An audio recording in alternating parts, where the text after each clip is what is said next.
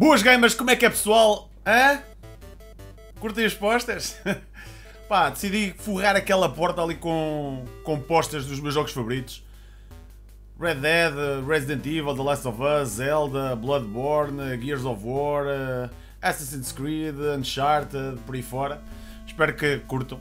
Mudar aqui um bocado aqui o cenário. E ainda vou fazer aqui mais umas alterações. Mas vamos às notícias da semana, porque hoje é segunda-feira e é dia DMF News. E por falar em jogos favoritos, ainda estamos com o giveaway a decorrer até o final desta semana, por isso aproveitem, porque vale muito a pena. Podem ganhar o Erika para a PlayStation 4, uma camisola da Mosher e ainda jogos para computador. Portanto, primeiro link aqui na descrição, vão lá ver que não tem nada a perder. Epic Store continua a bombar.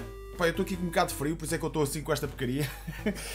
Layers of Fear, Cube 2, eh, grátis esta semana na Epic Store. Link também na descrição. Vão, descarreguem, borla. Dois grandes jogos, não tem nada, nada, nada que temer. É só carregar, não pagam bola. E podem jogar o Layers of Fear, grande jogo de terror. Principalmente o Layers of Fear toca-me um bocado mais. Ainda há pouco tempo acabei o 2. Vale a pena. Layers of Fear, Cube 2, na Epic Store para o teu computador gratuitamente. Para quem se lembra da, da Sega Saturn, Panzer Dragoon era um jogão da altura, pá, muito fixe. Ele vai receber o remake que inicialmente estaria confirmado apenas para a Nintendo Switch, mas que agora também foi anunciado para PC. Portanto, se és da altura da Sega Saturn e jogavas o Panzer Dragon, vais ter a oportunidade de jogá-lo no teu computador, uh, na sua versão remake ou na Switch, caso tenhas. O Ubisoft anda a fazer das suas e anuncia que tem dois jogos AAA para sair, uh, que serão lançados após março de 2020. Eles dizem que são três jogos que, hum, aliás, dois jogos que ainda não vão poder anunciar, mas que estão a ser feitos, que são AAA e que vão sair após março de 2020.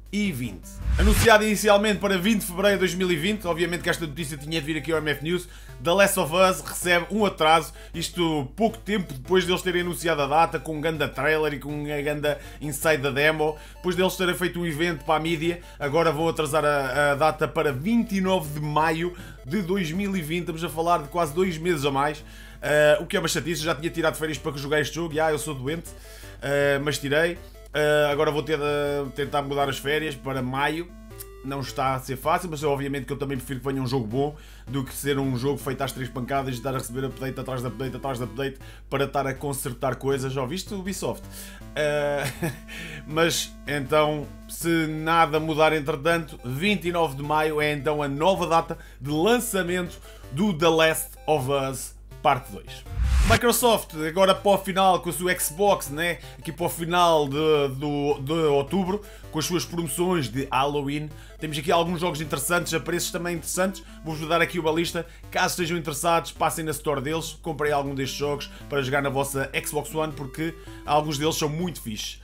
The Evil Within 5,99€, Doom a 9,99€, Alien Isolation a 13,99€, Witcher 3 Wild Hunt da Game of Year Edition 14,99€, grande preço, Bioshock da Collection 16,49€, atenção são 3 jogos, vale muito a pena, Dark Souls 3 17,49€, o Dark Souls Remaster 19,99€. Depois World War Z a 19,99€, Dead Rising 4 a 19,99€, Batman, Batman Arkham Knight a 19,99 também, The Evil Within 2, 20,99, Anthem, 23 e 9 cêntimos, 9 cêntimos.